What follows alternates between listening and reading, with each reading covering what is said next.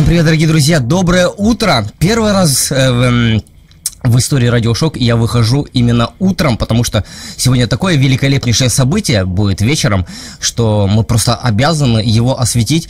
Э, и сегодня ко мне пришел легендарнейший гость. Друзья мои, представляю вам Сергей Летов. Здравствуйте. Добрый день. Ну что, Сергей, как у вас э, утреннее настроение? Более-менее боевое. Готов к новым подвигам. Готовы? То есть с утра вы уже готовы прям жечь, отжигать и э, изменить этот мир? Ну, жечь, наверное, еще не готов. А это, наверное, уже больше к вечеру. Но, по крайней мере, вот э, готов был подняться рано утром и поехать. А как вам, мы, конечно, про ваш, про ваш график еще поговорим. А рано утром часто приходится вставать? Ну, Приходится, потому что много движений.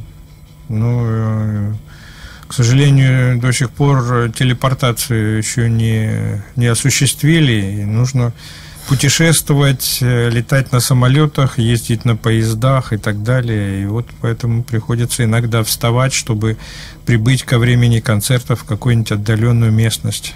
Ну, вы такой э, озорной хулиган, я бы вас назвал, потому что э, вы приехали на концерт, который произойдет сегодня, и успели уже вчера э, вечером дать концерт. Ну, Все успеваете? Ну, да, да, я вообще как каждый, каждый приезд по какой по какому-то поводу в Петербург стараюсь, ну, чтобы это было, ну, как правило, все-таки не одно выступление, uh-huh. а стараюсь зацепить и сыграть где-то еще сольный концерт. Но иногда даже два получается. Но ну, если график позволяет. Если график не позволяет, допустим, в Москве спектакль э, в среду и в пятницу или концерт, да, а в четверг нужно вот э, приехать. Такие бывает, что и одним обхожусь. Но, как правило, все-таки я э, зацепляю что-то еще и играю в каком-нибудь э, клубе или баре или еще на какой-нибудь площадке.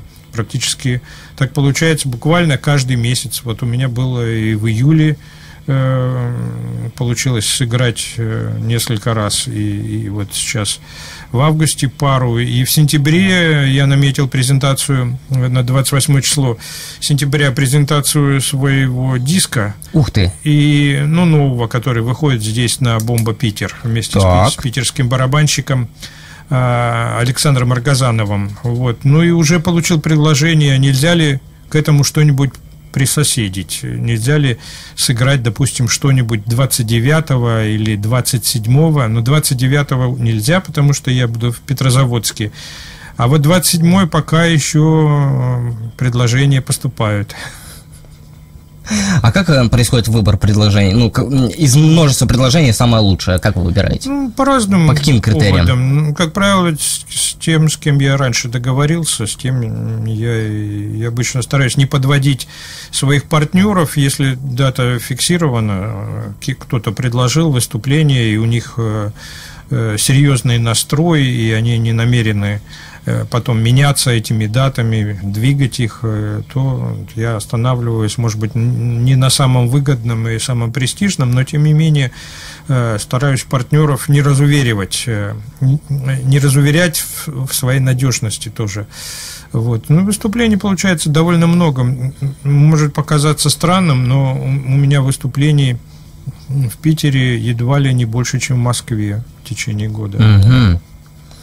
Э, давайте поговорим о выступлениях, о ваших оригинальных выступлениях. Эм, я был на вашем концерте, и однажды вы рассказали такую историю, что вы выступали в музее смерти.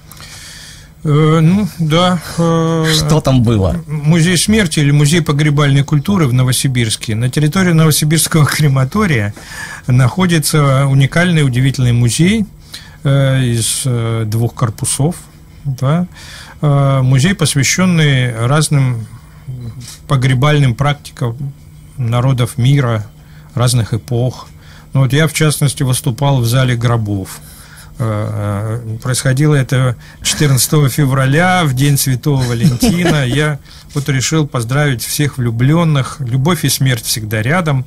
Поэтому я решил поздравить влюбленных э, там. Ну, на самом деле, это не совсем получилось э, вследствие такого моего решения, а потому что пианист э, Роман Столер, который, с которым я должен в Новосибирске выступать, получил предложение выступить в Японии, в Токио. Ну, естественно, предпочел Токио. Новосибирску, улетел в Новосибирск, а у меня было, был большой тур, который начался от Оренбурга и продолжался до Владивостока. 33-дневный тур, в котором мне нужно было выступить в Новосибирске. Между Кем, Новокузнецком и Томском у меня был промежуточный день, и он попадал на День Святого Валентина. Угу. К сожалению, так получилось, что сообщение об отмене концерта поступило поздно, но в День Святого Валентина Э, желающих поздравить влюбленных э, в разных клубах Новосибирска тоже очень много, все точки оказались заняты. Угу. Вот, может быть, это как раз моего недоработка была моего турменеджера, но так или иначе площадок свободных не осталось, и вот оказалась свободная площадка на территории крематория. Вот, мне предложили вот выступить в зале гробов, поздравить влюбленных а народу много было? Да, народ был. Дело в том, что крематорий бесплатно подвозит на такие мероприятия, они устраивают иногда концерты в, в зале гробов, угу. бесплатно подвозит э, публику от э, ближ, ближайшего метро Новосибирска. Угу. Вот, э, и вход там свободный, и аппаратуру они поставили. Получилось забавно, хорошо освещалось радио, телевидением местным лучше, во всяком случае, событие освещалось местными средствами массовой информации, чем заурядные концерты в каких-то центральных клубах Новосибирска. Вот. Ну, я пожелал, чтобы за моей спиной стоял большой угандийский открытый гроб в форме рыбы. Вот, uh-huh. там такие в Уганде приняты, принято хоронить Э, в индивидуальных гробах, нестандартных, а гроб должен отражать характеристику, профессию или какие-то там склонности э, э, того человека, да, которого, которого в этот гроб собираются поместить. Вот, и э, поэтому вот э, директор музея смерти пригласил э, мастера из Уганды, который как раз настругал этих разнообразных э, гробов. То есть форме, мастера привезли? Да, из Уганды, да, который ага. из новосибирской древесины Э, значит, настругал и покрасил там вот как раз угандийские гробы. То в форме рыбы, то в форме гигантского красного помидора для продавца томатов, как бы гроб, то в виде э, самолета биплана, ну такой кукурузник маленький, да, с фюзеляжем в виде гроба, да. Ну вот разные такие интересные ну, собственно говоря, музей отражает э, разные верования и разные представления о смерти, и разные ритуалы э, народов нашей планеты, которые чрезвычайно разнообразны, интересны. Ну, а э, я, в свою очередь, посвятил выступлению памяти умерших друзей. К сожалению, рок-музыканты и вообще музыканты находятся в группе риска они mm-hmm. очень живут быстро, убирают, умирают молодыми, и поэтому ре, такой получился э, немного нойзовый концерт, посвящение разным покойным друзьям, в частности, вот тот концерт был посвящен памяти Сергея Кузьминского, э, э, в прошлом э, лидера группы «Братья Гадюкины», uh-huh. который в 90-е годы уехал из Львова в Москву и занимался в Москве техномузыкой. Вот он один из лидеров московского техно. Назывался он диджей Арг. Вот, и вот я такой концерт посвящения ему. Вместе со мной играл сибирский шумовой музыкант Вязкий Шарап. Вот. А, то есть это был совместный какой-то концерт? Ну, в основном мой, да, но в конце, как, как правило, в конце, когда я выступаю в Сибири, то я соглашаюсь на э, джем с кем-то из интересных uh-huh. сибирских музыкантов. У меня есть друзья. Э, в Фейсбуке я веду ну, являюсь администратором группы «Транссибирская музыка». Ух, вот, да, в основном посвященную джазу, ну, отчасти прогрессивному року, но по большей части все-таки такой джазовая, свободная импровизация электронной музыки. Вот, сам-то все-таки я человек сибирский, хотя и живу уже почти полвека в Москве. Вот, но я дет, детство и юность прошли в Омске Новосибирске, поэтому я себя отчасти считаю сибиряком. Угу. Сергей, расскажите, пожалуйста, еще про самые, самые необычные места, где вам приходилось импровизировать. Ну, таких вот прямо необычных мест, э, как э, э, вот как это, не так много. Но бывали выступления, например, э, в историческом музее на Красной площади. Ух, даже так? Да. Э, Красная площадь, дом 1. Угу. Да? Это исторический музей. А, музей Владимира Ильича Ленина. Да. И как? Э, да, музей, причем в том зале, в котором когда-то Сталин вручал ордена разнообразные героев социалистического труда и так далее. Вот это было в прошлом, даже не в прошлом, или в этом, или в прошлом году, я сейчас не помню, в январе был 120 летие э, со дня смерти и 70-летие со дня рождения э, Сергея Эйзенштейна, режиссера, выдающего кинорежиссера, угу. и мне предложили озвучить э, в импровизационном плане вживую э, его фильм «Стачка». Да, это в прошлом году было. Так. И э, я пригласил э, барабанщика группы «Аквариум» в прошлом э, Олега Шара и, э, одного из самых наиболее выдающихся терменвоксистках. Терменвокс – это электронный инструмент, первый в мире электронный инструмент, на котором, э, который используется в музыке до сих пор. На нем даже когда-то Владимир Ильич Ленин пробовал играть в 19 uh-huh. году. Так вот, я пригласил вот, музыканта на э, Терменвоксе Олесю, и мы вот вместе э, вместе озвучивали стачку э, удивительным образом на такой, такой сеанс озвучивания немого кино в историческом антураже пришло необыкновенно большое количество людей. Вот. Причем, что билеты были ну, тоже чрезвычайно дорогие. Для меня, честно говоря, это был некоторый удивительный такой вот э, выплеск рекламы. То ли гуляющие э, в новогодние праздники по Красной площади заходили, то ли что. Ну, в общем, был какой-то такой вот невероятный аншлаг, при том, что акустика чудовищная. То есть это зал, ну, параллелепипед угу. с очень высоким потолком в котором, представьте, если играет ударная установка, то происходит какой-то такой э, шумовой эксперимент, скажем. Угу. Вот. Ну, было интересно, вот, потому что э, зал был оформлен разли, различными артефактами эпохи революции 1905 года, вот, гудками, которые дали призыв к, к вот той знаменитой мосто, московской Э, стачки заводов на Красной Пресне,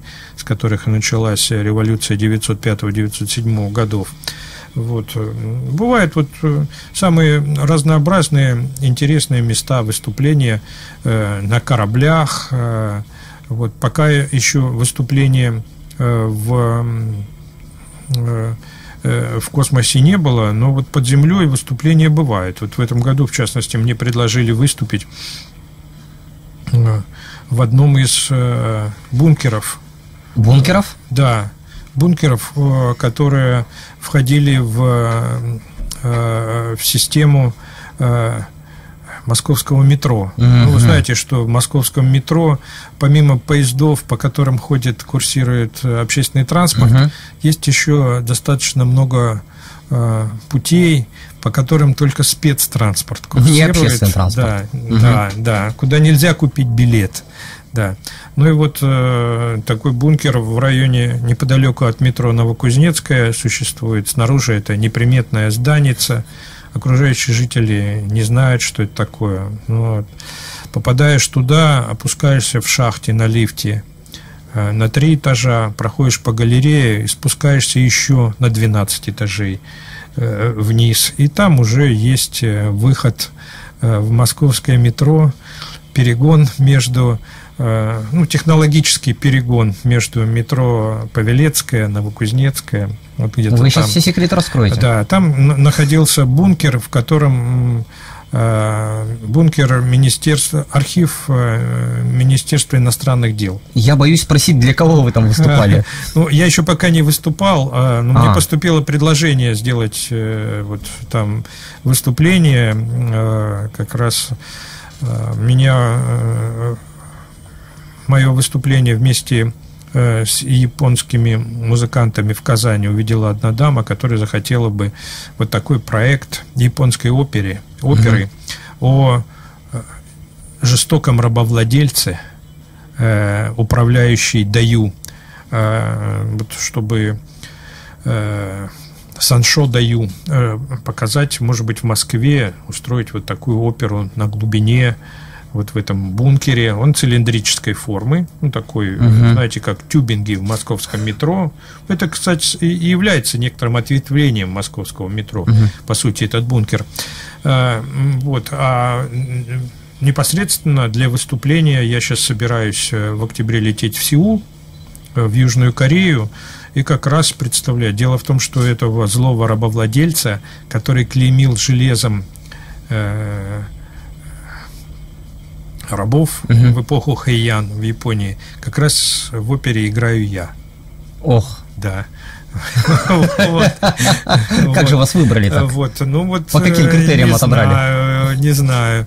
Пока мы эту оперу с моим участием представляли, вот э, японская опера с японскими танцовщиками и актерами театра Но, э, танцовщиками Буто, исполнителями традиционных буддийских гимнов. Э, вот. Э, мы показывали в Алмате угу. в марте этого года, потом часть, значит, руководитель проекта, композитор, видеоинженер и одна из танцовщиц Буто мы отправились в Казань с ним показали там перформанс в одном из арт-пространств. Ну и вот и там как раз вот поступило предложение.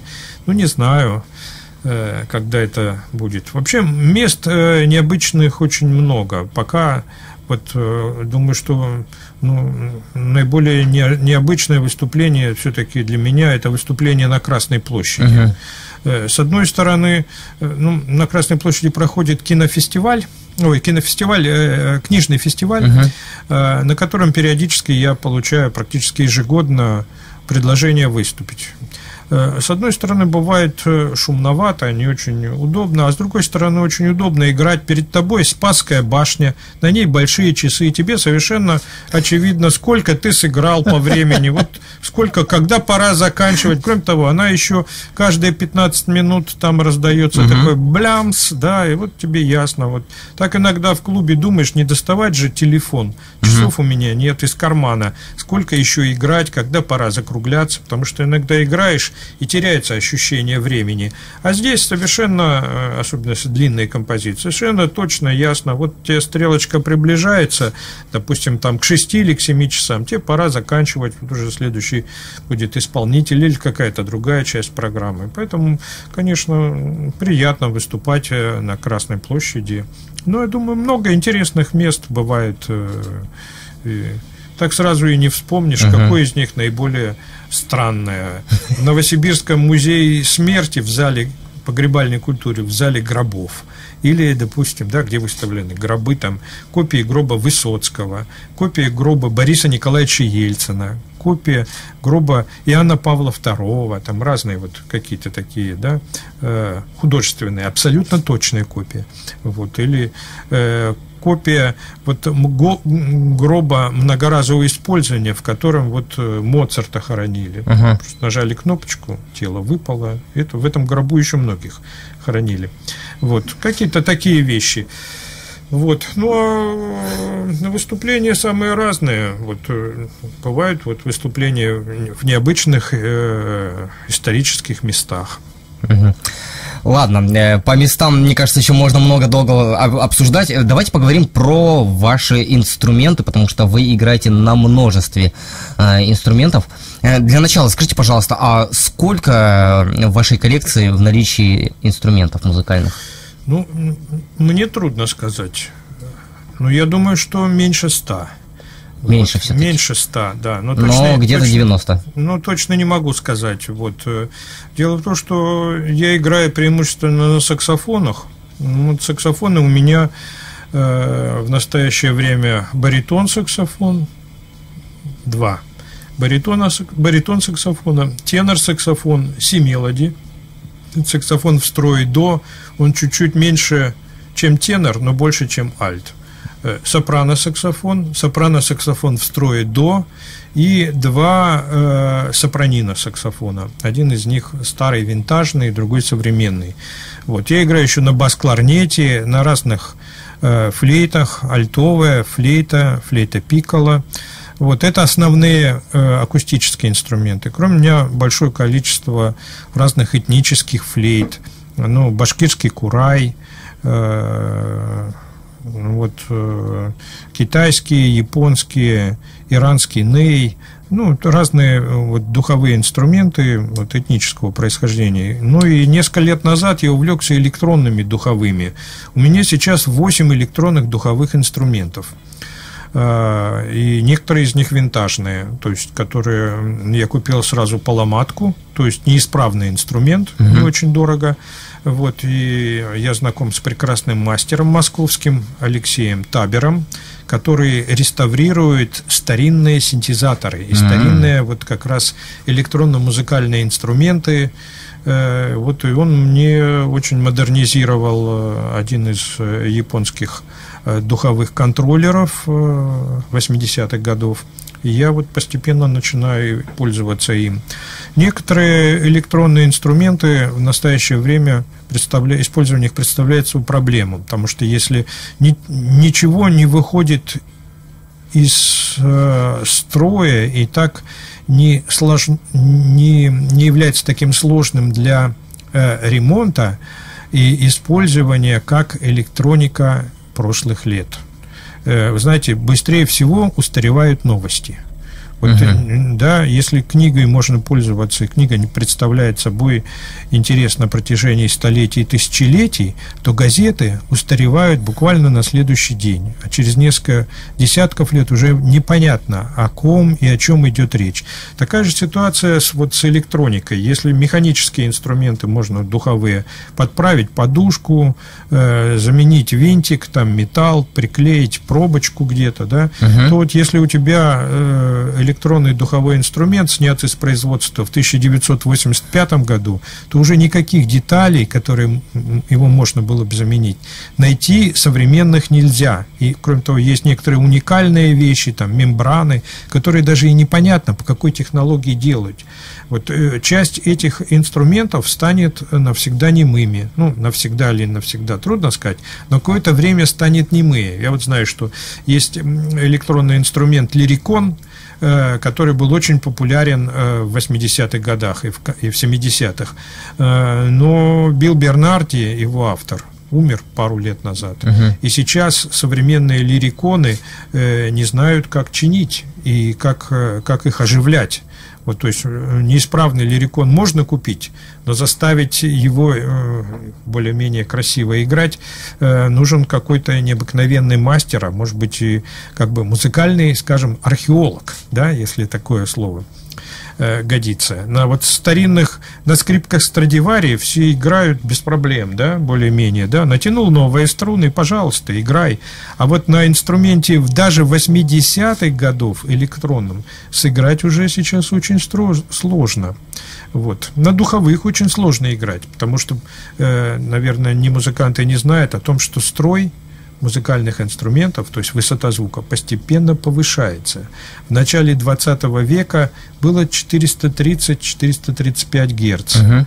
А в китайские оркестры сейчас используют уже выше 450 Гц, это uh-huh. нота ля стандарт является 440, но, как правило, любой рояль настроен 444 Гц. Когда вы берете старинный духовой инструмент э, и пытаетесь его перенастроить, опустить, заглубить мундштук глубже, то инструмент начинает не строить сам с собой. Верхние и нижние ноты начинают э, диссонировать между собой.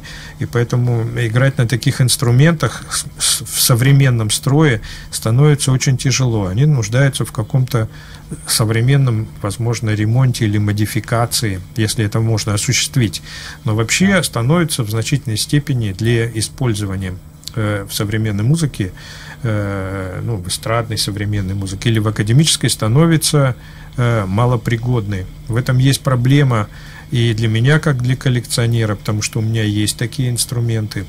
Э, они остаются для, скажем, какой-то шумовой музыки или для сольных выступлений. Да? То есть у вас главный принцип, чтобы все инструменты не просто лежали, а работали? Да, я все инструменты, которые у меня есть, абсолютно все, в том числе все синтезаторы, э, все контроллеры, я стараюсь использовать как можно чаще. Угу. Вот. Некоторые вот э, становятся любимчики. Вот сейчас я играю на таком духовом синтезаторе Roland Aerophone AE10 практически на каждом концерте я беру его. Но бывает, что э, появляются некоторые неожиданные задачи, которые на нем решить нельзя. Вот меня пригласили в, э, в, в конце июля буквально вот э, три недели назад, э, озвучить э, советский фильм «Аэлита» в uh-huh. Мадриде.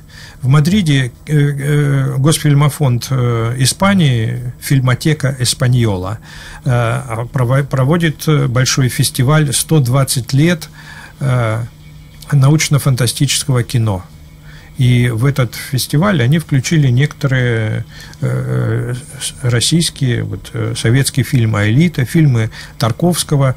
Ну, и «Аэлита» не мой фильм, то есть э, у него на, не, не, за, не записано на пленке, uh-huh. нет звуковой дорожки. Uh-huh. А они показывают это Госфильмофонд. У них есть э, именно 36-миллиметровая э, значит, э, пленка uh-huh. с этим фильмом, они показывают вот именно настоящий кинофильм, не, не про проекцию э, с, с ленты, не с DVD-диска. Э, вот именно такой. И для этого они пригласили русских музыкантов, от меня, Алексея Борисова, чтобы мы именно вот э, современными электронными средствами озвучивали. Я вот использовал там Akai EUI 4000S. Это инструмент, на котором я редко сейчас играю, монофонический, но который позволяет э, создать, вот, передать эффект терминвокса электронного, одного из первых электронных инструментов э, начала 20 века, на котором еще играл, между прочим, Владимир Ильич Ленин в 1919 году, когда Лев Сергеевич Термен ему Термен Вокс в горках демонстрировал.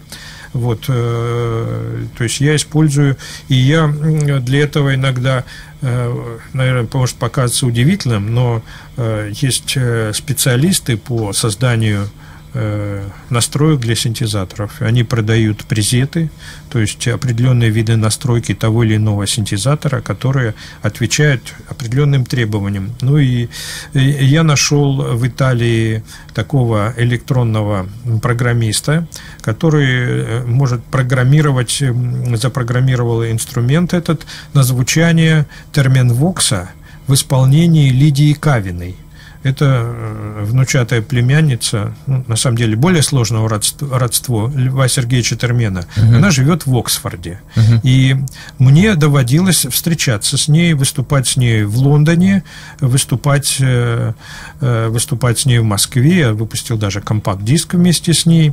Э, недавно. Ну вот в Испанию я не мог пригласить Кавину, там был ограниченный достаточно бюджет на двух российских музыкантов.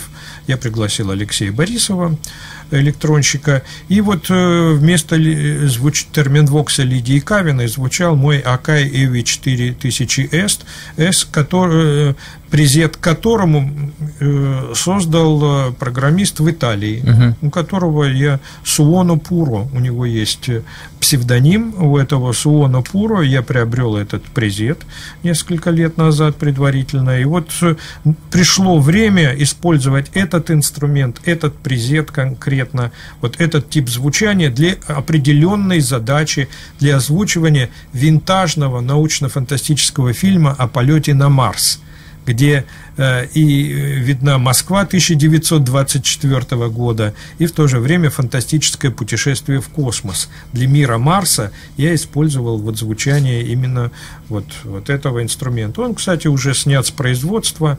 Э, ну, это тоже, тоже такой электронный винтаж. Ух, целая лекция. Э, Сергей, вы, насколько я знаю, сами делали музыкальные инструменты? Ну, э, только акустические. Только акустические. У меня к вам нескромный вопрос. Э, вам хоть раз обращались э, с покупкой авторских работ? Вот по инструментам нет. Да. Это сугубо индивидуальные. Вообще, этот самодельная, вот эта история моих самоделок, она уходит в самое начало 80-х годов. Э, дело в том, что существовал в Москве такой полумифический персонаж, э, джаз-панк-музыкант Виктор Лукин. Угу. Вот. Я его никогда не видел. По слухам, этот Виктор Лукин эмигрировал куда-то в США в самом начале 80-х годов. Еще вот примерно в то время или чуть-чуть раньше того времени, как я начал учиться сам играть на э, музыкальных инструментах. Но я познакомился с его адептами – вот фанатиками э, этого... Не фанатами, а фанатиками. Да, прямо фанатиками этого Лукина, которые рассказывали о нем какие-то апокрифические истории, ну, как, например, вот Джатаки, это истории э, о Будде, да, мифологические. Угу. Вот э, в Москве э, жили люди, которые рассказывали такие разнообразные фантастические, э, не знаю, как они связаны с реальностью, истории о жизни, идее и, подвигах этого э, Виктора Виктора Лукина. И вот э, Лукин этот, э, э, он потом вроде бы эмигрировал в США, э, вроде бы из США он отправился в странствование в Непал, Тибет, кого-то там убил и сел то ли на 10 лет, то ли на 20 лет в тюрьму. Угу. Вот. И э, инструменты этого Лукина я видел. Это были какие-то самодельные флейты или кларнеты, сделанные из самых разнообразных подручных инструментов – вот, э, ну вот, например, я видел инструмент, сделанный одним из адептов Лукина. Это какая-то э, веточка бузины, и э, заточенный определенным образом колпачок от шариковой, советской шариковой ручки, угу. к которому цеплялась какая-то маленькая тросточка нитками, и он издавал какой-то пронзительный, на, похожий на э, звучание индийского духового инструмента шинай э, звук. Угу. И, и вот э, делались какие-то кларнеты, и вот я сделал из алюминиевой трубки, которую я купил в материалах для труда в детском мире, тогда еще производились материалы для труда. Ну, какие-то трубки, уголки, там что-то такое. Я купил алюминиевую трубку за несколько копеек, э, отпилил ее, купил мундштук э, БУ, производство ГДР, продавалось целые мешок мундштуков, вот, бывших в употреблении.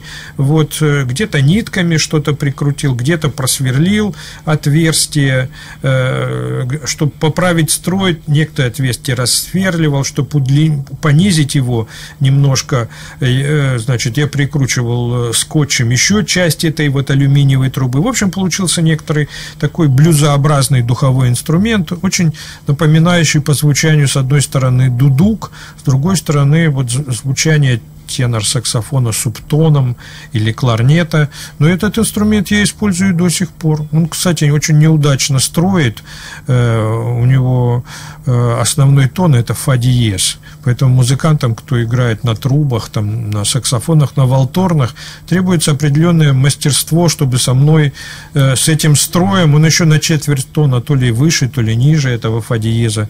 Вот. Но для выдающихся музыкантов, таких как вот Юрий Парфенов, это трубач сейчас играет в группе uh-huh. «Аукцион», или Аркадий Шуклопер, волторнист, для них не составляла проблема подстроить свой инструмент так, чтобы вместе со мной играть. И он записан уже, наверное, на десятки компакт-дисков. Такая вот самоделка. Но в настоящее время я самодельные инструменты э, духовые не делаю, потому что э, мне доступны благодаря всяким путешествиям этнические инструменты там, японские, корейские, вьетнамские, китайские, э, и, вот иранские. То есть вы из каждого да. путешествия везете трофеи в виде музыкальных инструментов? Да, да, практически из каждого. Но если в этой стране есть какие-то духовые, не все духовые интересны, uh-huh. и не на всех из них э, мне удается научиться интересно играть. Я недавно продал китайский шен. Это большой инструмент, Э, прародители аккордеона, губной гармошки. Вот. Инструмент достаточно сложный в освоении, и мне показалось, что полноценно я на нем играть уже не научусь в своей жизни. А, то есть звуки извлекать могу, uh-huh. но играть на нем э, осмысленную, артикулированную музыку э, на том уровне, на котором играют китайские музыканты, я не смогу на этом инструменте уже. Потому что много лет надо учиться. Uh-huh. А мне все-таки уже 62 года. Прекратите прибедняться. Да. Uh-huh. Вот. И поэтому этот инструмент я отнес в магазин этнических инструментов в Москве. Вот, а инструмент у меня пролежал 20 лет, я его использовал один или два раза. Но э, электронные инструменты, я думаю, у меня новые будут, будут появляться. Я подписан на ряд групп в Фейсбуке, посвященных э, электронной музыке, электронным инструментам. Переписываюсь и даже посылаю иногда деньги разработчикам, чтобы их подбодрить и как бы простимулировать их работу в определенном направлении. Вот у меня недавно э, в Бельгии я обнаружил э, программиста, который э, решил сделать такой обратный инжиниринг, то есть расшифровать как э, работают э, духовые синти, синтезаторы, предназначенные для духовых компании Yamaha, угу. которые, видимо, патенты истекли на определенные работы, и они бросили очень интересный сегмент производства синтезаторов для духовых. Я послал ему какие-то небольшие деньги. Вот, э, он продолжил работу в этом направлении и через некоторое время э, прислал мне лицензию на, э, значит, на, на, на свой программный продукт. Ну, я продолжаю в общем, заниматься в этом направлении. Я не посылаю ему свои работы, потому что они, мне кажется, достаточно эстрадными и недостаточно радикальными. Но если будет у меня возможность что-то более сложное и интересное использовать, то, может быть, когда-нибудь и э, на его сайте появятся музыкальные примеры из того, что я делаю с его разработками. Сергей, Очевидно, вы выглядите намного моложе своего паспортного возраста, но и э, ритм ваш жизненный, он не подходит к тому возрасту, который у вас написан в этой красной книге под названием «Паспорт». Расскажите, пожалуйста, что у вас за главная такая подпитка Подпитки нет. Просто я, наверное, мутант. А-а-а. Потому что я родился э, в городе Семипалатинск, неподалеку от полигона, где происходили атомные взрывы. И вот мои родители видели непосредственно грибовидное облако, выбегали смотреть, что это за облако такой формы. Ударной волной э, атомного взрыва э, в домике на берегу Иртыша, в котором жили мои родители, э, выбивало стекла, однажды повредило крышу. Ну и вот отец рассказывал, что ударная, когда проходила ударная волна, из печки выбрасывала угли, а потом она когда проходила, эти угли всасывались обратно в, вот, в печь. Вот, так что я получил какую-то достаточно приличную дозу радиации, ну, как и все, мы, э, как мои родители, бабушка, мать, э, ну, на всех она по-разному действует. Вот, э, если, значит, мать и бабушка заболели онкологическими заболеваниями и умерли раньше, наверное, среднюю э, продолжительность жизни в нашей стране, то вот отец прожил большую жизнь, умер на 93-м году. Угу. Вот, то есть разная радиация оказывает, возможно, разные воздействия. В детстве и я, и вот мой брат, и, известный как Егор Летов, мы очень много болели. Но после 16-17 лет практически какие-то болезни закончились, мы дальше уже никогда к врачу не, даже не обращались. Угу. Вот, поэтому... То есть вы это объясняете так. А скажите, пожалуйста, как вы отдыхаете? Отдыхаю? Да. Ну, скажем, какие у меня есть интересы помимо музыки? Да, я болельщик. Так, за кого да. любите? Я болею за ЦСКА угу. по всем видам Армейцы. спорта. Да, причем и я так же, как и мой брат, мы такие яростные болельщики. Но я вот на стадион не хожу, вот, потому что, наверное, для большинства фанатов мой внешний вид был бы, ну, фанатов ЦСКА, угу. по крайней мере, был бы каким-то таким неприятным, раздражительным. Человек с длинными волосами, с бородой, с усами. Там ребята любят э, так вот налысо бриться, да. Э, даже мне как-то один из болельщиков, э, фанатов ЦСКА, мы где-то разговорились, водитель в Крыму, рассказал, что, допустим, на выезды куда-нибудь в Европу берут биты с собой. Угу. Если встретят каких-нибудь ребят, которые не по-пацански одеты или прическа или какая-то другой. не пацанская, да, там, там могут поучить немного. Угу. Вот, поэтому я так на футбол опасаюсь ходить, потому что может быть какая-то неприятная разборка или э, с полицией. Вот у меня есть товарищ, э, переводчик Бероуза Виктор Коган. Так. Очень известный, ну, который вот все книги, посвященные сленгу американскому, в основном это его переводы, но все книги Бероуза в основном перевод. «Голый завтрак», там всякие, вот, так он болельщик «Динамо», то есть uh-huh. милицейской команды. Но он рассказывал, что претерпел как-то, причем от полиции. Увидели, ой, э, таких болельщиков, как я называют, фанаты называют Кузьмичи. Кузьмичи, да. Да, он, Кузьмичьем. смотри, Кузьмич, берем его, он тепленький, сейчас мы это, пощиплем этого Кузьмича, он еле спасся. Вот, ну, мы смотрим, э, я и Логан, мы смотрим э, по телевизору, э, отчаянно болеем. Э, у меня, значит, НТВ плюс. Угу. Я смотрю на телефоне, в, ну, и если есть Wi-Fi, у меня для этого специально безлимит в МТС так. для того, чтобы смотреть. И я иногда смотрю матчи ЦСКА, футбол, баскетбол и и хоккей даже во время спектакля. То есть я прячу среди декораций определенным образом планшет или телефон, ставлю его, да, вот ставлю на беззвучный режим. И представьте, играю какой-нибудь спектакль, да, да, и вот э, одним глазом как хамелеон, одним глазом вроде бы я как бы здесь на сцене, одним глазом я я болельщик, да, вот э, и ну вот э, на самом деле мой брат тоже был фанат тоже ЦСКА и Динамо Киев. Вот. Ну и он какое-то время Аланию поддерживал, когда она была чемпионом в 96-м году. Вот. Ну а ввиду того, что папа военнослужащий, поэтому я вот болельщик... Э, Армейцев. Боле, да, болельщик ЦСКА. Угу.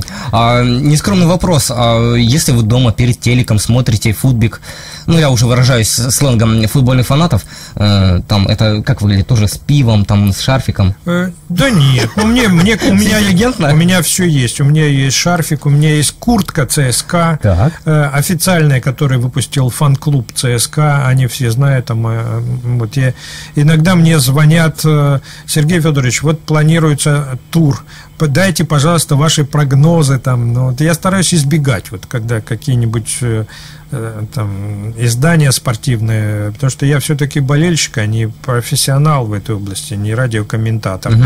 Иногда э, там в какой-нибудь уральский город как-то меня звали, чтобы я приехал, какой-то матч прокомментировал вместе с профессиональным комментатором. Но это лишнее. Вот. Я всего лишь э, здесь рядовой болельщик и, и все. Скажем, вот это вот та область, которая...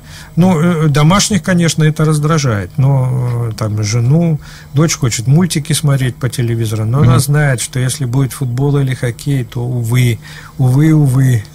То есть у вас такой банальный, обычный российский от, э, отдых. Э, Просто фубик. Да, ну, скажем так, то есть э, вряд ли я смогу куда-то побежать в свои 62 года и гонять там мяч. Э, тут можно и травму какую-то получить, которая задержит там выступление, вот. Но в этом, скажем, другого, другого ничего нет. Ну, я так из, из ну, я любитель искусства. Uh-huh. Я, когда езжу, я всегда посещаю э, музеи, выставки. Если раньше меня интересовало преимущественно современное искусство, то в последние годы, особенно после истории с Pussy Riot, я в художественном сообществе, связанном с современным искусством, очень сильно разочаровался. Вот, э, и меня больше привлекает э, классическое академическое искусство. Я очень люблю читать. У меня большая библиотека. Угу. Последнее время я увлекся именно русской литературой московской школы, которая в значительной степени широкой публике неизвестна. То есть э, у нас же в основном петербургская Поэтому можешь ты не быть, а гражданином быть обязан. Uh-huh. Да? И в советское время литература э, вот не либерально-демократического направления, а, скажем, такого более национального русского, она была в загоне. Вот, э, этих писателей не переиздавали или издавали очень мало. Вот. А сейчас я вот с большим удовольствием читаю эти книги, иногда делюсь э, очень злободневными цитатами из русских писателей XIX века в своих э, аккаунтах в Фейсбуке и ВКонтакте. Угу. Сергей, сколько вы спите? Вы знаете, мне кажется, я сплю больше, чем надо. Потому что я умею спать не только ночью. Угу. То есть, если у меня выдается какой-то там промежуток, я могу совершенно спокойно заснуть на 15, на 20 минут, сидя на стуле где-нибудь. Или, то есть, я умею спать в разное время, как бы добирать необходимое количество времени для сна, но иногда в неподходящих для ситуации. У меня есть знакомый музыкант, который умеет спать э, на репетициях, на концерте вот. Э, но я, к сожалению, не умею. Жена говорит, что я умею спать с открытыми глазами. Это пугает. Даже так? это пугает, да, что я иногда не закрываю глаза э, или э, прикрываю, но не полностью. Это очень, ну, довольно страшно uh-huh. выглядит, вот. Но я не исключаю, что такая возможность. Хорошо бы запрограммироваться вот в паузе. Сидишь на спектакле, играешь там, допустим, на 45-й минуте или там на 28-й, а до этого минут 20 поспал, сидя, да, потом проснулся вовремя, встал, сыграл свою фразу и заснул снова. И при этом еще армейцев смотреть одним глазом. Поговорим о вашем детстве. Кем, мы, кем вы мечтали стать в детстве? О, ужас, это ужасный вопрос. Дело в том, что я, э, когда был еще ребенком и жил э, вот э, в бараке для военнослужащих, то мы родители купили телевизор. Он был единственным телевизором. Ну, представьте, телевизор там 15 сантиметров экран, да, линза перед ним, в которую воду uh-huh. наливали. Да, и в то время телевизоров-то ни у кого не было, поэтому все соседи числом человек 25 20, а со своими стульями приходили смотреть фильмы. Они расставляли, ну, это как бы такое кино. Ага. Представьте себе комнату, туалет на улице – ну такой типа сортир, да, так. с дырочкой в полу. Вот, э, э, значит, кухни нет, э, ну какой-то есть там кухня типа предбанник такая маленькая. Там за ширмой я и бабушка, или я там сплю, или бабушка. И вот маленькая комнатка забивается стульями, и все смотрят какой-нибудь фильм, который два часа телевизор в Омске, который передает, показывает кино. Вот, ну вот чем я посмотрел какой-то фильм, не помню, едва ли не со Смоктуновским в главной роли. Ну, какой-то, я уже не помню название. Но мне очень понравился этот фильм. Угу. И главный герой был карманный вор. И когда мне в школе написали дети, кем вы хотите быть, то я, значит, э, написал, что хочу быть карманным вором. Вот. Родители вызвали в школу. Вроде хорошая семья. Отец офицер, политработник советской армии, мать врач, специалист. А сын их хочет быть вором в школьном сочинении в первом классе. Значит, что это такое? Родители вызывали в школу с ними. Вот. Прошло это время, показывали фильм, и там мне очень понравился «Американский шпион». И я, значит, на следующий вопрос был, я написал, что хочу быть американским шпионом. Но тут уже, видимо, комитет государственной безопасности решил, что отец военный, что это за оппозиционное настроение в семье. Ребенок то вором хочет быть, значит, он как-то к советской власти нелояльно относится. В общем, э, э, я пугал. Вот в детстве я Рэш. пугал. А родители пытались меня, Сереженька, ну как же, у тебя же все есть, книжки, типа смотри телевизор. Вот, да, а ты, а на меня почему-то вот советское кино, вот неготяи, которые играли очень хорошо, угу. мне, мне были очень интересны, потому что они вот против всех, они вот, какая-то, видимо, оппозиционность э, в душе, она была, может быть, вырваться из какой-то чрезмерной опеки, которая была, э, окружали бабушка, родители, вот мне чем-то что-то хотелось в детстве противопоставить, поэтому я вот пугал. Ну и, наверное, более традиционно традиционно. Я посмотрел фильм «Девять дней одного года», где главный герой, э, физик и ядерщик, э, заболевает и умирает от онкологического заболевания. Uh-huh. И вот э, с этого момента я решил, что я буду ученым. И так мое детство под этим знаком и прошло. Я выигрывал Олимпиады в Омске по физике, химии, ездил на всесоюзную Олимпиаду, потом, в конце концов, поступил в физико-математическую школу-интернат при Новосибирском университете и уехал. И вот последние два года я учился именно в в этой школе. Так что вот желание э, как бы заниматься наукой, вот это родители приветствовали. Mm-hmm. В отличие от шпиона американского и карманного вора, э, это оказалось более как бы поддержано окружающими. Угу. Скажите, а вы любите тишину или все-таки музыка всегда вокруг вас должна быть? Тишину. Вы я не, тишину? Я практически музыку не слушаю. Очень мало музыки. Э, я стараюсь, и если она где-то звучит на пляж, э, вот сейчас уже, к сожалению, э, трудно даже прийти в лес на берега Москвы-реки, я живу в Крылатском, у нас довольно дикий, дикий такой, ну, это заповедник uh-huh. в Крылатском, но на, на другом берегу находится вот полуостров Серебряный Бор, из которого доносится очень громкая музыка, преимущественно какой-то российский жуткий рэп. Вот. И э, вот, к сожалению, уже... Ну вот э, у меня есть товарищ Аркадий Шелклопер, мой да. близкий друг. Мы с ним, когда приходим на концерт, он слушает первую пьесу. После он, так, все ясно. Дальше он достает беруши, сидит, хлопает активно, радуется концерту. Он говорит, ну уши надо беречь.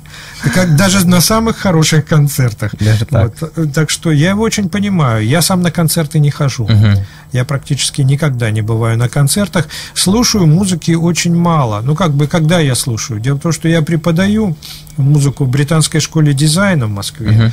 Moscow Music School, и э, преподаю 15 лет в Институт журналистики э, и литературного творчества. Преподаю я историю музыки. И вот поэтому мне нужно все время делать какие-то музыкальные примеры, и я все-таки вынужден отслушивать э, тот музыкальный материал, который я готовлю студентам. И вот сейчас все больше аудиовизуальный, нужно какие-то кусочки из опер. Мне надо все-таки, чтобы тот фрагмент, который я ставил, я стараюсь его заранее прослушать, чтобы не получился какой-то конфуз. Вот. А вот так вот, чтобы слушать для души, да, я слушаю разные интересные технологические приемы, в основном связанные с электронной музыкой. Uh-huh. Раньше также я много слушал именно э, радикальных саксофонистов-новаторов. Э, вот это тоже представляло для меня э, в, в плане освоения новых видов э, техники саксофонной игры.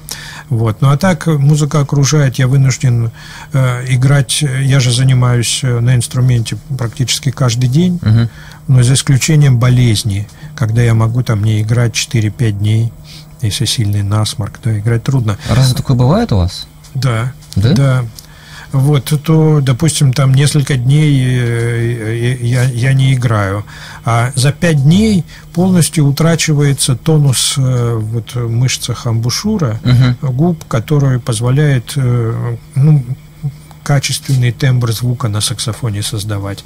Поэтому надо постоянно играть. Я играю в основном музыку барокко, угу. Бах, Вивальди. Вот в последнее время я увлекся композитором Верачини, итальянским, это композитор того же времени, что Вивальди и Бах, 18 века. Вот, э, то есть этому посвящается там, допустим, час в день, иногда два. Ну, еще что-то слушать очень сложно. Кроме того, чужая музыка, она очень влияет на э, свои творческие, на меня, по крайней мере. То есть, если ис, испытываешь недостаток в чем-то, то и, ты вынужден импровизацией как бы компенсировать отсутствие вот вот uh-huh. этого. А если я буду очень много слушать, то мне, мне не захочется столь, так играть.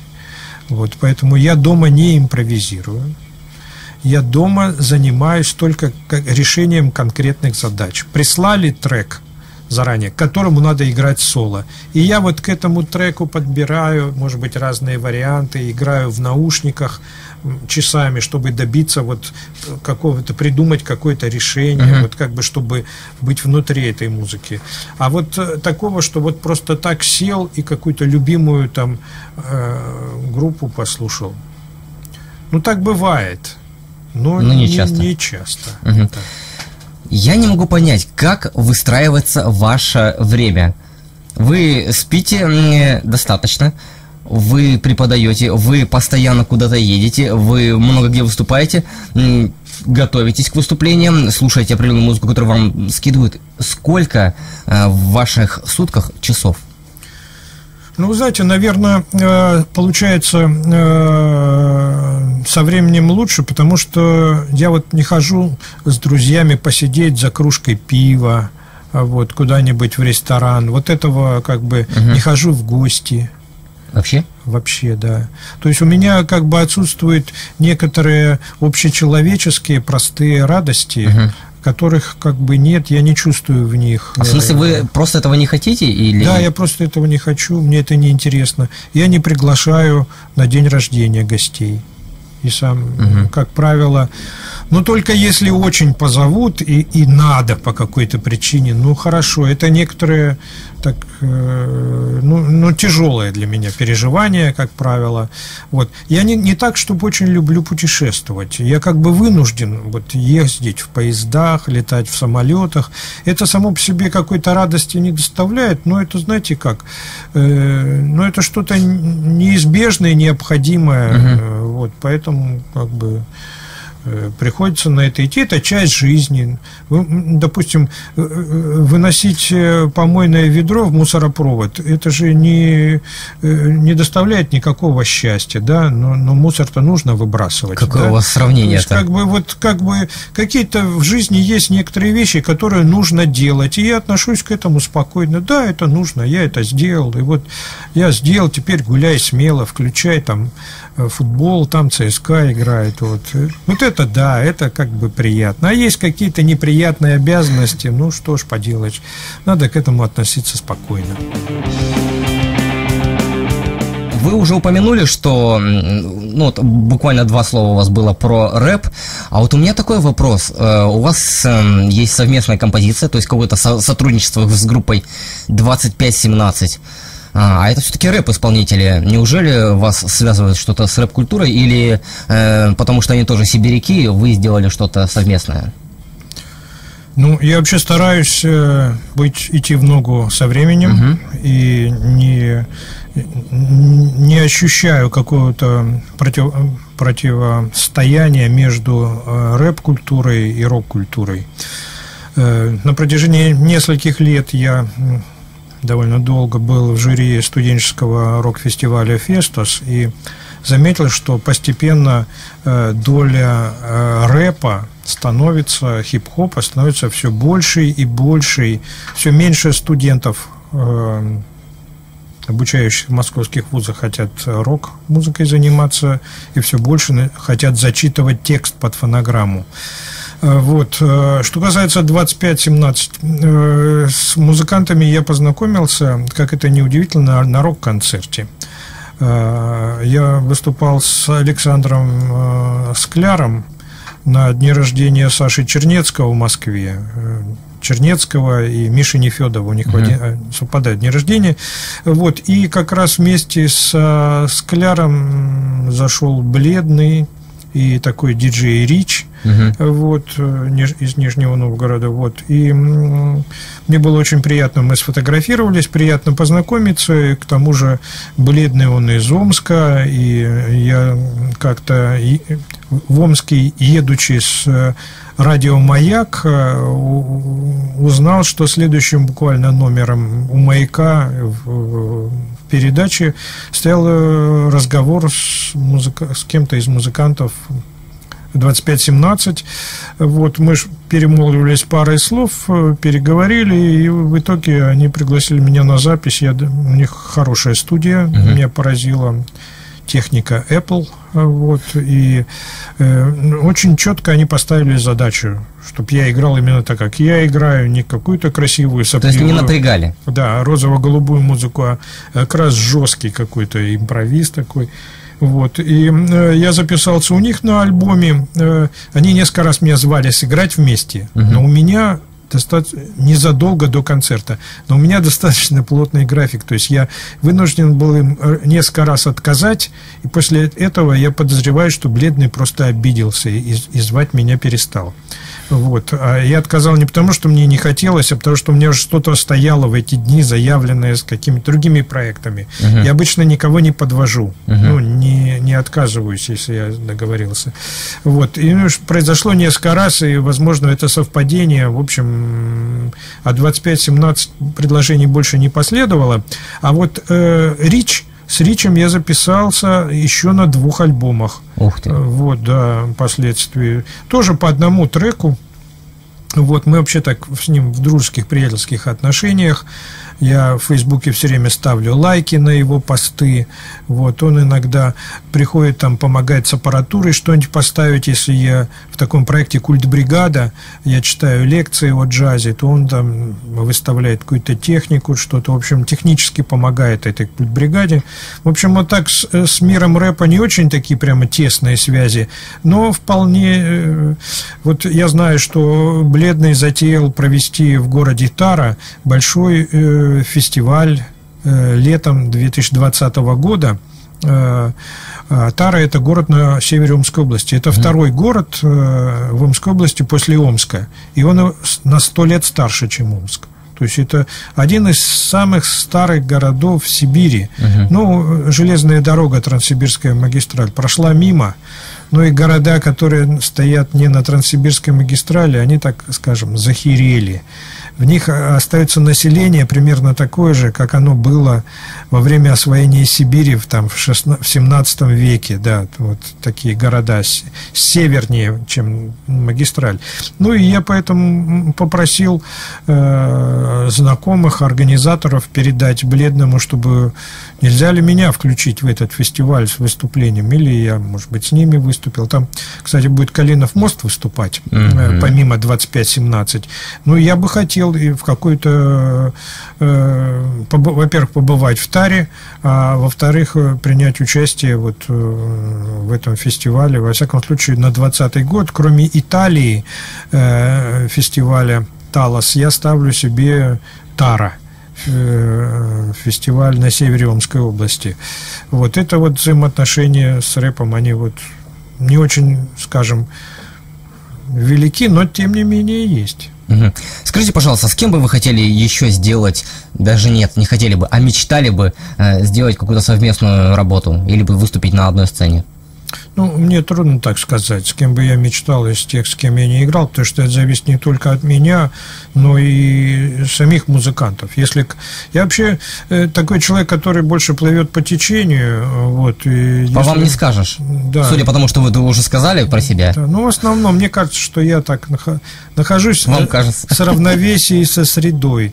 Вот. И если мне поступит предложение какое-то интересное, всегда можно его рассмотреть, если оно созвучно э, каким-то моим пожеланиям, да, и мне будет интересно. А я стараюсь себя заинтересовать всякими задачами, особенно если они сложные и необычные. Вот, то я готов рассмотреть. Но из тех проектов, которые уже начинались и которые э, как-то не продолжаются, я бы назвал прежде всего дуэт э, и вообще совместное выступление с японским пианистом Юриюки Харада. Это гениальный японский фриджазовый пианист, чуть постарше меня, ему порядка ближе к 70 сейчас. Э, мы с ним выступали вместе в Токио, в Киото, в Осаке, в Японии, в России выступали, ну, естественно, в Москве, в Протвино, я возил его на фестиваль. Вот. И вообще мне хотелось бы чаще с ним играть. Это очень интересный, яркий фриджазовый пианист, и у меня не так много возможностей. Я прежде всего хотел бы, может быть, издать записи, потому что у меня уже накопилось определенное количество качественно сделанных записей вместе с ним, которые можно было какой-нибудь забавный винил издать. Но это такой немного романтичный э, фриджаз, то есть это элемент, он играет на рояле, э, это элемент элементы фриджаза, но такого не, коло, не, мол, не молоточного такого стука, да, а вот как с каким-то отголосками, может быть, Шопена, романтики. Он обязательно, э, играя со мной, цитирует кого-то из классических э, композиторов русских, там где-то у него что-нибудь из Рахманинова или из римского Корсакова, какая-нибудь угу. еле заметная фраза, закодировав внутри. Вот. И человек, он очень яркий, интересный.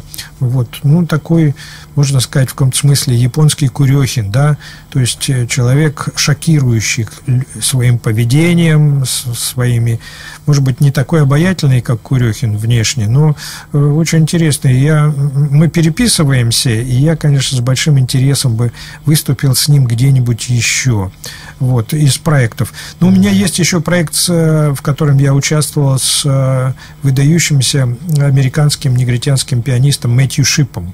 Мы выступали в Екатеринбурге, в Москве, Э, в Мюнстере, в Праге, в Берлине. Вот. Э, у нас, э, у меня есть администратор Джимми Вундерлих в Берлине, который как бы занимается и мной, и Мэтью Шипом. Иногда он нас сводит вместе. Вот. Мне интересно, но это, конечно, такой сложный, сложный проект. Не знаю, почему он не продолжается, как-то вот не, почему-то не пошло. Видимо, в Европе вообще сейчас некоторая скажем, ввиду санкций и прочего, не то чтобы охлаждение к русской музыке, но во всяком случае э, приглашение русских э, музыкантов на фестивале современного искусства э, в определенной степени меньше э, меньше продвигается, чем это было до 2014 э, года. Mm-hmm. Вот. Наше место заняли украинцы. Теперь там охотно приглашают украинских музыкантов, а вот как бы, ну, видимо, э, спонсоры фестиваля тоже ставят какие-то свои условия. Во всяком случае, вот участие стало, э, ну, немного не то, чтобы уж очень значительно, но немного поменьше. Вот. Э, не то, что полностью прекратилось. У меня много достаточно выступлений в Европе. Но вот в Америке я не был, между прочим, уже 18 лет. Mm, даже так? Да в США. Вот. Больше как бы сдвинулось э, на Дальний Восток. Вот я часто, более-менее часто бываю в Японии, в Южной Корее. Вот. Э, как-то туда. Э, вот. Ну, я открыт к сотрудничеству. Все еще впереди. А скажите, пожалуйста, с кем никогда в жизни, ни в каком случае, ни при каких условиях ничего совместного не сделаете? Ну, я даже не знаю. Я могу сказать, кому я отказывал. Не, не то, что группе, а когда были предложения о совместном выступлении, и я отказался. Так. Да. Ну, вот, например, я отказался выступать с группой «Кровосток». Должно было быть вручение премии «Егермайстер» Music Award в Москве в одном пафосном клубе. Вручение закончилось маски-шоу. То есть явилась какая-то э, какая служба, э, значит, ну, типа ОМОНа, и угу. музыкантов выводили через черный ход. Вот, э, вот, но я тогда как раз отказался, организаторы именно такое делали приглашение. В результате я на вручении выступал с группой Глиншейк Uh-huh. Это молодая очень э, ГШ сейчас группа, молодая, очень яркая, мне кажется, очень перспективная группа с э, девушкой вот в главной роли, на, на, певицей, очень красивой и такой яркой. Вот. То есть бывают, конечно, какие-то отказы, но они, я бы сказал так, если э, коллектив занимает какую-то заведомо агрессивную антироссийскую позицию, антипатриотическую, то я не буду. Или что-то, э, где какие-то унизительные слова о России или э, унизительные какие-то оскорбительные слова значит, о русских, я не буду участвовать ни при каких обстоятельствах. Вот в таком, ну, скажем так еще, э, меня не устраивает антикоммунизм. Угу. И с группами конкретно радикально, где, где это вы, вынесено в, э, э, главную идею. в главную идею. Я не буду сотрудничать ни с какими нацистами, ни с угу. какими фашиками потому что я сторонник э, левой идеи, то есть я могу поддерживать людей, допустим, которые, э, которые э, в какой-то степени и творчество не созвучно коммунизму, ну, допустим, они анархисты, да, угу. ну, то есть так или иначе они какие-то могут быть временными союзниками, но вот с, с радикальным антикоммунистическим национализмом, с фашизмом, вот с группами, которые какую-то идеологию ненависти в отношении э, других людей проповедуют, я бы сотрудничать не стал. То есть я для себя, прежде всего, когда мне присылают что-то записаться, я прошу, допустим, какой-то группы, я прошу прислать текст. Если меня что-то в этом тексте не устраивает, никакими деньгами купить мне нельзя. Последний на сегодня вопрос, Сергей. Если бы у вас не было абсолютно никаких ограничений, вообще никаких, чем бы вы еще занялись? Э, какие у вас эм, родились бы новые идеи? Что бы хотели нового сделать? В чем себя попробовать? О, не поздно ли это уже? Я уже, между прочим, два года пенсию получаю, даже третий. Я же не такой молодой человек. Э, Я говорю, что ограничений вообще никаких нет. Ну, ну, на самом деле это сложный вопрос. Как сложный? Потому что наша жизнь и культура, вообще культура, это ограничение. И преодоление ограничений, с одной стороны, это как бы постоянная мечта человека, но с другой стороны, без, совершенно без ограничений какая-то культурная деятельность невозможна. И я уже не в том юном возрасте, когда эти ограничения представляются какой-то тюрьмой или бедой, как каждому молодому человеку, который хочет утвердиться, ему кажется, что законы его отцов, законы, установленные обществом, это какая-то страшная беда, негодование, как вызывает все это, и нужно это все разрушить, и на основании, а затем, вот, мне так не представляется. Мне кажется, что налагаемое ограничение – это возможность для реализации, для какой-то работы. Это не, не, не, не беда, прежде всего, а это некоторая определенная помощь. Ну, чем бы мне хотелось в жизни еще заниматься, чем я не занимался? Да, конечно, у меня есть масса желаний. Во-первых, мне хотелось бы приобрести много новых инструментов. Конечно. Это, знаете, каждому, э, кто любит железо, да, вообще, ему кажется все время, что железа постоянно не хватает. Угу. Да, у меня есть много желаний, которые совершенно нереализуемы. Но прежде всего, я хотел бы на протяжении всей жизни, я хотел бы обладать контрабас-кларнетом. И я периодически смотрю на eBay, я просматриваю на Авито, нет ли там контрабас кларнета. Вот мне, ну, знаете, этой мечте ее больше 30 лет. Угу. Да, может быть, больше. Но, к сожалению, материальные возможности мне не позволяют приобрести вот этот инструмент. Он не такой... У меня был бас-саксофон, угу. но мне пришлось его продать потому что он уже слишком тяжел для моей спины. Я не могу достаточно долго держать этот инструмент на шее. Э, спина начинает где-то на пятой минуте уже просто давать сигналы, что нет, нет, уже, уже нельзя. Вот. А это не очень тяжелый инструмент, который все-таки можно установить. Э, у него есть ножка, как у виолончели. И вот я бы хотел очень... Ну, есть ряд э, еще инструментов, которые мне бы хотелось приобрести. Конечно, в основном это связано с, с музыкой, с возможностью э, заниматься любимым делом, да, возможностью заниматься, может быть, э, что бы, если была возможность, если была возможность хотя бы заниматься на инструменте в каком-то близлежащем ко мне помещении. Потому uh-huh. что, знаете, когда играешь на саксофоне э, в крупнопанельном доме, то соседи иногда начинают аккомпанировать по батареям, но не всегда попадают в такт. Иногда они выдают просто какой-то сеанс спонтанной свободной импровизации.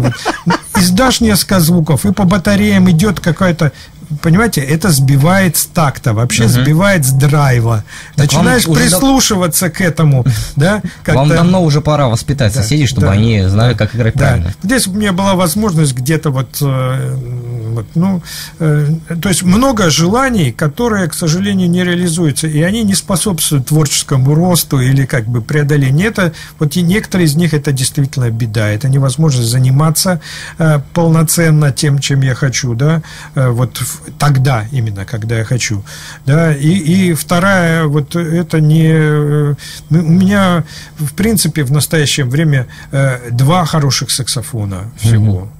Э, у меня не сломанных. Это один сопранино-саксофон и тенор-саксофон. Остальные инструменты нуждаются ну, в поддержке. Нуждаются в ремонте, по сути, по большому счету. Я их использую тоже, но э, они, в общем, ну, неадекватны тем желаниям музыкальным, тем возможностям, которые... Поэтому как бы у меня есть некоторые, да, есть потребности э, в хорошем э, баритон-саксофоне, в хорошем сопрано-саксофоне. Мой Э, там на нехромовых проволочках свернут там, потому что есть просто поломки в механике. И, вот, э, в общем, есть, э, есть к чему стремиться. Вы вот сказали, какие у меня есть мечты, которые, uh-huh. да, да, у меня есть еще мечты. Мне хотелось бы побывать в Австралии, в Новой Зеландии, где я никогда не был, побывать в Индонезии, побывать в Латинской Америке. Ну, возможно, все впереди, все время появляются какие-то новые возможности. Ну, желаний очень много. Самое главное, что сказал Сергей только что, все у нас впереди. Ну что же, всем пока, прощаемся. Да, всего хорошего, до новых встреч.